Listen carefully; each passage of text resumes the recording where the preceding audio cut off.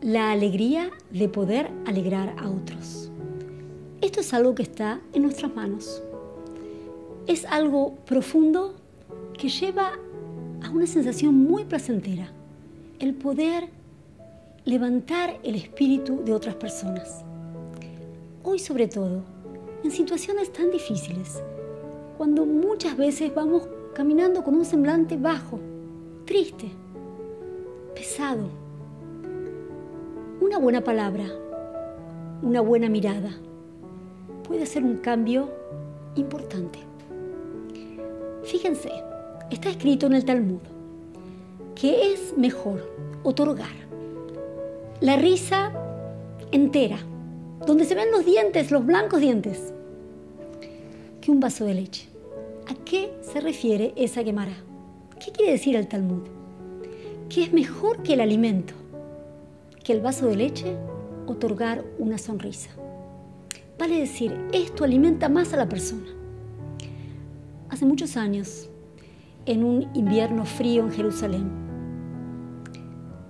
estaba con mis niños por salir de casa.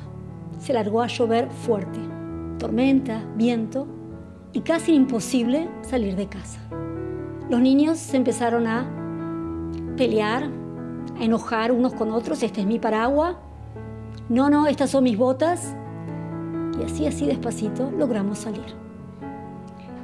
Cuando empecé a repartirlos, cada uno en su respectivo lugar, los dos niños, para ir al Talmud Torah, a la casa de estudio de los varoncitos, en su micro, las nenas en la escuela y finalmente la chiquitita en el jardín de infantes. Esto fue muy tedioso y al llegar al último lugar de destinación, el jardín, estaba agotada. Así como golpeé la puerta, la maestra jardinera me abrió y me recibió con una súper sonrisa y me dijo, bienvenidas, quiero que pases un ratito. Le digo, ¿qué pasa? Pensé a mí misma, tal vez se está portando mal la chiquitita. No, no, vení, pasa, te quiero mostrar. ¿Ves esa sillita? Es el lugar preferido de tu nena. Ahí juega casi toda la mañana. Le encanta agarrar los libros. Parece que lee, pero tiene dos años. Y aparte juega tan lindo con las otras nenas. Es la primera en recoger todos los juguetes. Me fui después de dos minutos y llegué a casa casi, casi saltando. Me levantó tanto el ánimo. Solo su sonrisa habría sido suficiente.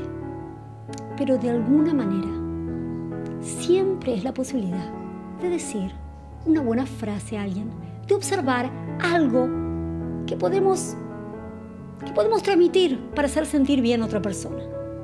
Pero si nada se nos ocurre, el sonreír siempre es una opción. Entonces, la idea a venir en estos días sería tratar de sonreír. Cuando nosotros sonreímos a los otros, el mundo nos sonríe de vuelta. Y esto es bueno hacerlo específicamente con las personas que están alrededor nuestro. Que tengan mucho éxito en este maravilloso trabajo. Sonreír aprender a sonreír.